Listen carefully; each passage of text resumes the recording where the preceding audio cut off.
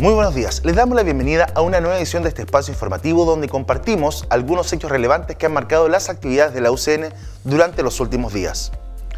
Un espacio de fraternidad, encuentro y espíritu cristiano se vivió en la Misa de San Lorenzo y la minería celebrada en Antofagasta en el marco del mes de la minería y la celebración de los 50 años del Departamento de Ingeniería Metalúrgica y Minas DIM.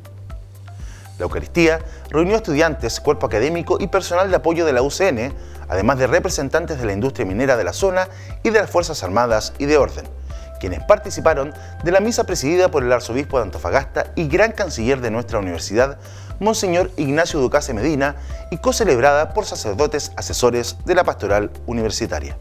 La imagen de San Lorenzo, patrono de los mineros y protector de los pobres, tiene una importancia histórica, simbólica y cultural en la religiosidad del norte de Chile, como el santo guardián de quienes trabajan y desarrollan sus actividades en la principal actividad productiva del país. La misa formó parte de las actividades de celebración de los 50 años del DIM, emblemática unidad que ha contribuido a la formación de numerosas generaciones de profesionales que se han integrado a las actividades productivas de la región y el país. Esta conmemoración considera múltiples actividades que incluyen seminarios y jornadas recreativas, deportivas y de capanadería, entre otras. En otras noticias, en la UCN Coquimbo, el programa de acceso a la educación superior PASE cumplió una década de transformación educativa.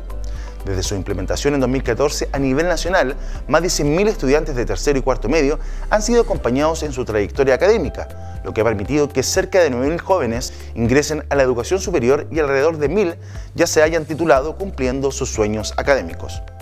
En el décimo aniversario del PASE, las universidades de la macrozona norte que implementan esta política pública se reunieron para conmemorar los logros de este programa que nació con el objetivo de garantizar el acceso a una educación de calidad y acortar las brechas educativas.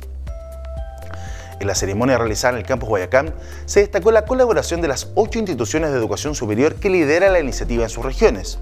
Universidad de Tarapacá, Universidad Arturo Prat,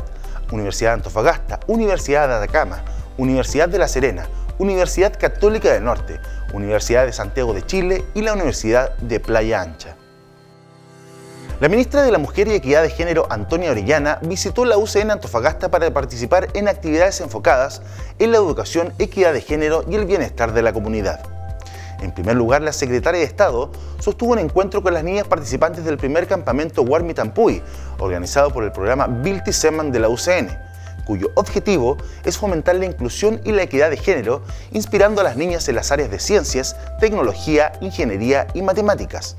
Asimismo, la ministra Orellana participó en la tercera Feria Preventiva de Violencia de Género y Salud Mental, organizada por la Dirección y Secretaría de Género UCN.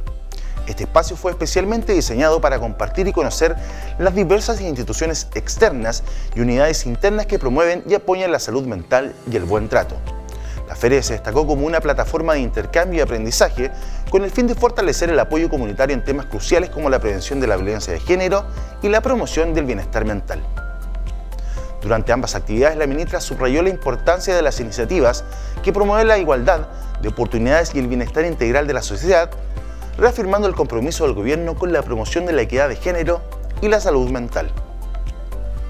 Para conocer más sobre nuestras noticias y actividades, los invitamos a visitar el sitio web www.ucn.cl y a seguir las redes sociales de la UCN.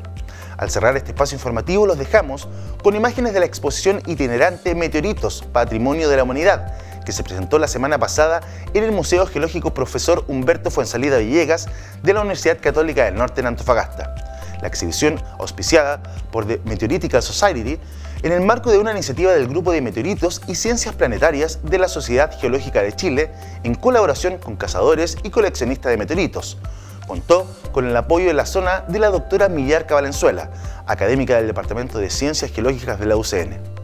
Gracias por revisar con nosotros algunos de los últimos acontecimientos de nuestra universidad. Que tengan una excelente semana.